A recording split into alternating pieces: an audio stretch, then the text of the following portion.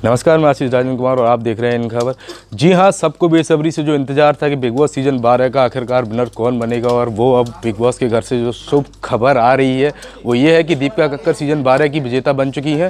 जी हाँ श्रीसंत को हराकर दीपिका कक्कर सीज़न 12 की विजेता चुनी गई हैं और ऐसे में उनके फैंस में काफ़ी खुशी का माहौल है और आपको बता दें कि दीपिका कक्कर और श्रीसंत आखिर में दो ऐसे फाइनलिस्ट बचे थे जिनके बीच जीत का मुकाबला जारी था और श्रीसंत को पछाड़ दीपिका आगे निकल गई हैं। बता दें कि सीज़न में दीपिका सबकी फेवरेट मानी जा रही थी, लेकिन श्रीसंत के आगे उनको भी थोड़ा फीका लग रहा था कि फाइनल में आके क्या वो जीत पाएँगी या नहीं।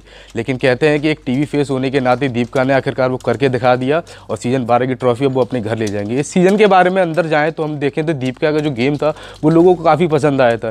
दीपिका जिस तरीके से अपने गेम प्लान को बनाती थी, लोगों के साथ मिलती थी, जुलती थी और घर के सदस्यों का ये मानना था कि वो पूरी तरीके से खुल के नहीं आती थी। लोग कहते थे कि वो बनावटी तरीके से खेलती थी कि जो लोगों को अच्छी तरह नहीं लगता था। बट दूसरी जो सबसे बड़ी बात थी कि दीपिका जिस तरीके से गेम को खेली, जनता को वो बहुत पसंद आया और उसी आधार पर आज वो सीज़न बारह की विनर बन चुकी हैं। श्रीशन तो दीपिका के रिश्ते के बारे में मैं आपको बता दूँ कि कुछ लोगों का ये मानना था घर के कि इन दोनों के रिश्ते काफ़ी अच्छे नहीं हैं या फिर ये लोग फेक तरीके से अपने घर गेम को चलाने के लिए इन सब रिश्तों को बना रहे हैं। लेकिन एक तरफ़ जहाँ श्री ने सीधा कह दिया कि मैं दीपिका को अपनी बहन की तरह मानता हूँ और उसको हमेशा अपनी बहन की तरह ही रखूँगा, चाहे वो घर के अंदर हो या घर के बाहर हो। भाई दूसरी ओर दीपिका ने भी श्रीसंत का बखूबी साथ दिया और कहा, जी हाँ शीशन मेरे भाई है और मैं, वो हमेशा मेरे साथ भाई की तरह ही रहेंगे।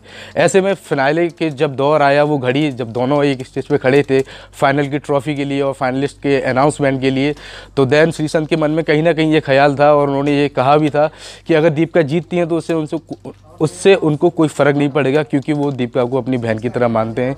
हालाँकि जो फिनाले में हार का दर्द था, वो शीशन के चेहरे पे देखने को बन रहा था, क्योंकि तीन महीने के लंबी सफ़र के बाद शीशन जहाँ फिनाले तक पहुँचे थे, और जो शीशन की शो से पहले जो छवि थी, वो बिग बॉस सीज़न के बारह के बाद से एकदम से बदल गई है। लोगों ने उन्हें काफ़ी पसंद भी किया, जिसकी बदौलत आज वो फिनाले में पहुँच गए थे। लेकिन इस हार के बाद कहीं ना कहीं अब देखते हैं कि शीशन के आने वाली ज़िंदगी पर क्या असर पड़ेगा। लेकिन जो सबसे बड़ी खुशी की बात यह है कि जो टीवी सीरियल में बहू का किरदार निभाती थी, सबकी चहती दीपिका कक्कर आखिरकार सीज़न बारह की विनर बन चुकी हैं। तो अगर आपको ये वीडियो अच्छा लगा तो कमेंट करें, लाइक करें, शेयर करें और बाकी खबरों के लिए देखते रहे इन खबर। नमस्कार।